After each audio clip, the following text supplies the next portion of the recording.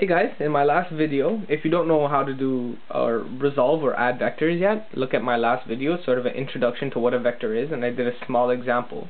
And I forgot to mention that uh, when we were figuring out the angle, which was 106 degrees, that is 106 degrees away from the horizontal.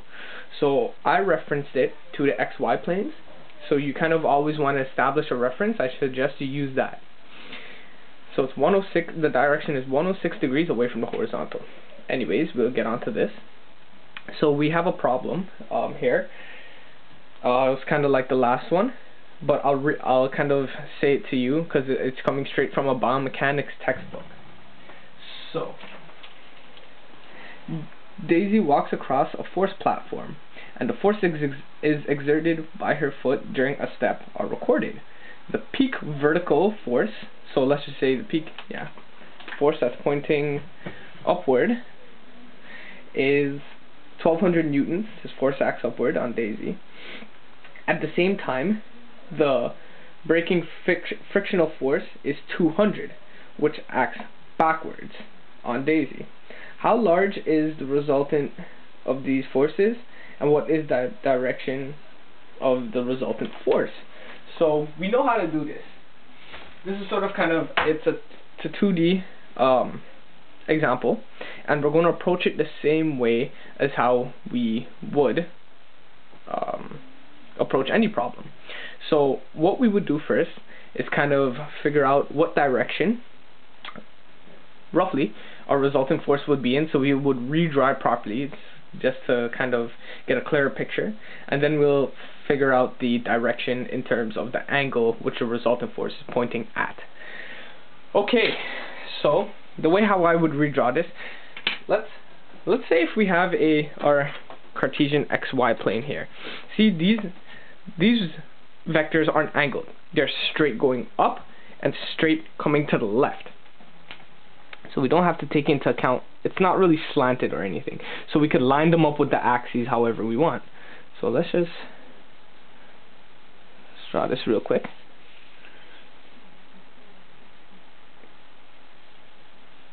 Okay, whatever. So, how would I draw this? Um, personally, what I would do, I'll take the 1200 and line it up with the y-axis. So, this would be our 1200 newtons. And then, like I said in the last example, you kind of want the head to touch the tail of the next vector, which means that instead of drawing the angle or the vector here, we want it here. Because we could extend the vector. Remember I was saying this before. We could extend it to however length. So basically, it's coming from here. This is 200. Oh, sorry to confuse you, but this is 200, and this is 12. Okay. Therefore, our resultant vector, if you add one going up and one going left, it's going to be like this, right? Visually, if we kind of imagine it. And that's how it is. Okay, so, how are we going to get this um, resultant vector? Well, as you can see here, there's a nice little right triangle and we know with right triangles, we can use Pythagorean's theorem. So let's do that right now. I lost my red marker, but I have to make do. So c squared equals a squared plus b squared. We can say this is our a squared. So c squared equals 200 squared plus 1200 squared c squared equals 40,000 plus 144 mil. Okay, so what we're going to do here is add these up, and then to get rid of this c, uh, the square root, we're going to square root this, so that goes away, and then we're going to square root the addition of this this equals 2, let me do this quickly,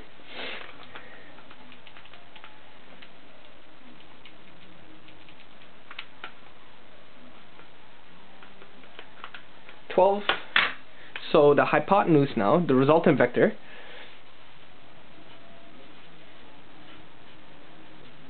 resultant vector magnitude is equal to 1216.55 newtons. Okay? Whoopsies. So we have the we have the magnitude. Now since we have the magnitude, we can figure out the angle. Right?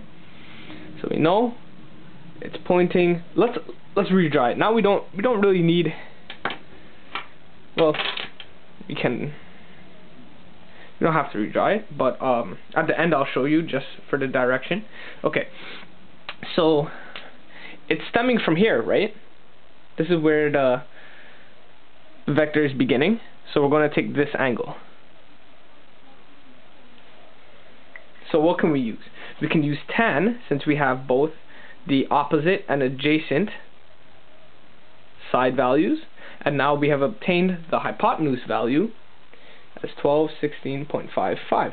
So we can use tan, or we can use sine, or we can use cos. I would like to use the sine function. So, let's do sine equals sine theta equals opposite over hypotenuse. So this equals 200 that's opposite, newtons over 1216.55. Theta is equal to 200 divided by 1216.55. Remember, just I'm just going to show you this second function inverse sine. We always use that when we're finding the angle. And that equals 9.6 degrees. 9.646 so we could say 9.5 degrees. Degree okay 9.5 degrees from where? From what right? So this is the direction. We know it's 9.5 degrees but we kind of have to establish a reference. So are we going to say away from the vertical? I think it's easier for someone to understand that this is 9 I'm just going to flip this around here. Okay. No let's not do that. Um bear with me for a second.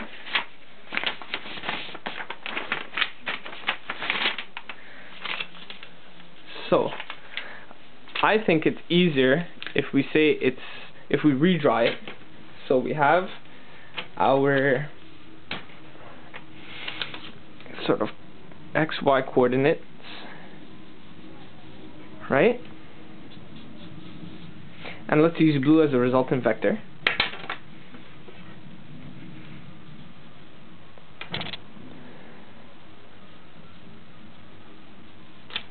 Is terribly drawn, um, I apologize, of 1216.55. And we know this angle now is 9.6, right? 9.5. So, and we know this angle is 90. So if we add these two, so 9.5 plus 90 equals 9, 99.5.